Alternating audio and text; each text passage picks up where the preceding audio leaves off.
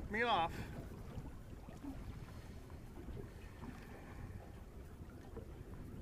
Okay, that was a dozen mullet. And I believe that was a shark. Because there ain't no way,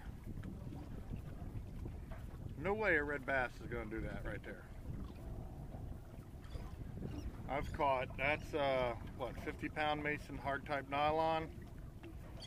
And we've caught 140 pound tarpon on it before. So that's my last mullet. I don't know when you're putting mullet and stuff down the bottom of this river sometimes, and you get these absolute blistering attacks, that that ain't a shark right there. So, okay, well that was my morning. A dozen mullet eating off the hooks, and not one redfish in this river. Alrighty, so time to go in.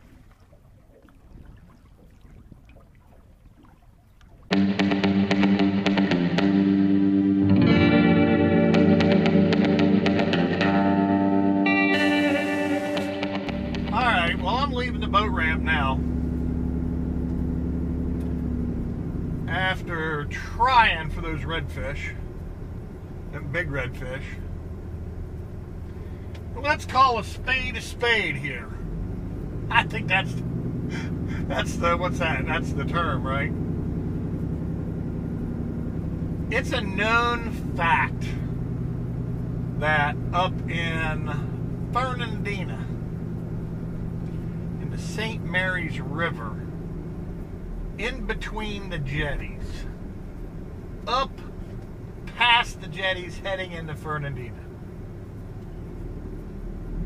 there is giant sharks in that part of the St. Mary's. And I don't know what happened to them, but they were caught consistently by a guy named Rudy. Or Captain Rude, he called himself. I'm sitting there up in the river, as I always do and it happens all the time is you got a bait out and no sooner no sooner everything gets perfect you just get completely popped off okay and we all know that's not that's not redfish doing that. It's not stingrays doing that. It's not bluefish doing that. There is sharks all the way up past the little jetties, no problem. I mean, many times, many times uh, I've heard all these wives' tales stories. Oh, come up and eat my redfish. Well, I've never had one come up and eat my redfish, but I've had them eat and break tackle. Eat, eat my bait and break the tackle like it's no problem. All the rigs.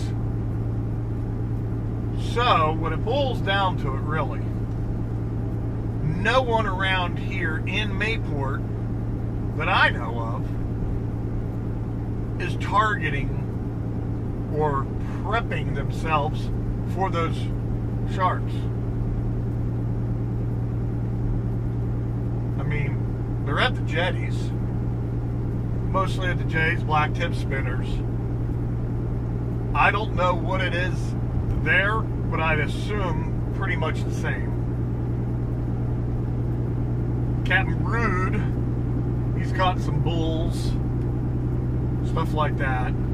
Talked to a friend of mine, uh, Mark, at the boat ramp. Said the same thing to him, and he goes, "Well, yeah. I mean, you know." He says they're up in Fernandina too. He said if they're up in Fernandina in between jetties and up in the river part, then they're here. Why wouldn't they be? And that's what I've always thought. So you know what? From now on, I'm bringing some really big tackle. I'm bringing the big rod. The big rod or at least the black tip rods. And the only way you're ever going to get them, I guess, I mean, really, you gotta put a bite leader on there. I mean, even if your bite leader's this big. But I don't like going to too much steel because they seem to shy away from it. But you gotta put a bite leader on because they're just you hook them, they just rip everything right off. So I'm going out tomorrow, and if we end up doing what anything like I did today, if we end up doing anything like I did today, um, I'm gonna put a bite leader on and we're gonna use some big ass tackle. Because at the end of the day, nobody says, what reel did you catch him on? Nobody cares. What it boils down to is you got his ass to the boat. So I'm wanting to get his ass to the boat. I'm tired and tired of getting bit off constantly. Hell, screw it, damn redfish. You can't keep them anyhow. I don't keep the sharks. What's the difference? Plus, the sharks are going to hand you your ass on a silver platter.